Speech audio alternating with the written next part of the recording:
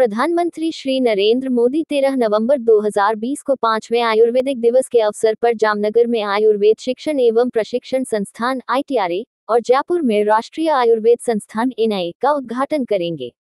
इसके बारे में आईटीआरए जामनगर को राष्ट्रीय महत्व के संस्थान के रूप और एनआई जयपुर को विश्वविद्यालय दर्जा हासिल करने वाले संस्थान के रूप में राष्ट्र के समर्पित करना आयुर्वेद शिक्षा के आधुनिकीकरण के लिए एक ऐतिहासिक कदम है।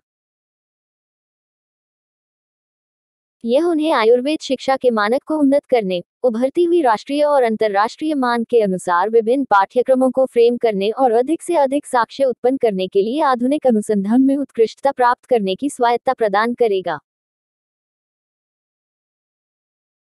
आईटीआरए, जामनगर को राष्ट्रीय महत्व के संस्थान के रूप में और एनआई, जयपुर को विश्वविद्यालय दर्जा हासिल करने वाले संस्थान के रूप में राष्ट्र को समर्पित करना न केवल आयुर्वेदिक शिक्षा के आधुनिकीकरण, बल्कि परंपरागत औषधि के क्रमिक विकास में भी ऐतिहासिक कदम है।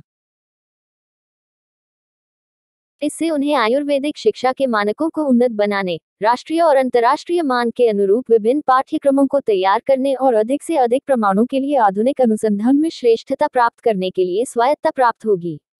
महत्वपूर्ण जानकारी, क्या आप जानते हो?